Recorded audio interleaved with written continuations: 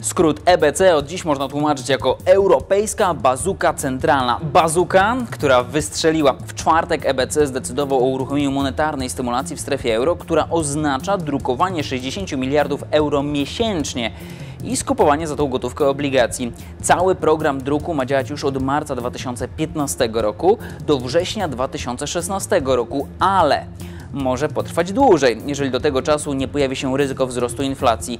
Łączna kwota stymulacji sięgać zatem będzie blisko 1200 miliardów euro. Pierwsza reakcja giełd była optymistyczna, bo darmowej gotówki będzie więcej, ale już na rynku walutowym tego optymizmu po decyzji Europejskiego Banku Centralnego było zdecydowanie mniej i frank nadal pozostaje silny. W grudniu polska produkcja przemysłowa mocno odbiła. Wzrosła ponad 8%. To dobre zaskoczenie po w sumie słabym listopadzie, gdy polski przemysł trwał w stagnacji. Skąd tak dobry wynik?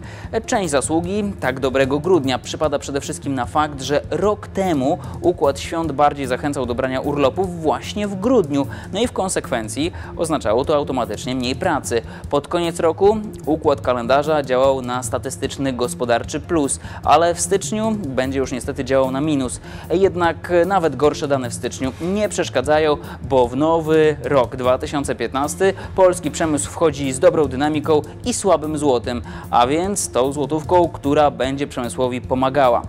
Nie tylko wzrost produkcji zaskoczył w ostatnich dwóch dniach. W sumie w danych za grudzień zaskoczyła też średnia pensja. Przeciętne wynagrodzenie wzrosło w grudniu o blisko 4%, co w połączeniu z panującą w Polsce deflacją sięgającą 1% oznacza, że rynek pracy oraz płacy jest w najlepszej formie od 6 lat, a realnie Pensje rosną najszybciej od 2008 roku. Zatem 2014 rok kończymy średnią pensją na poziomie 4379 zł, czyli ponad 1000 euro. I to nowy rekord pensji. O kolejnych rekordach na giełdach i gospodarkach usłyszysz w kolejnym programie. Do zobaczenia.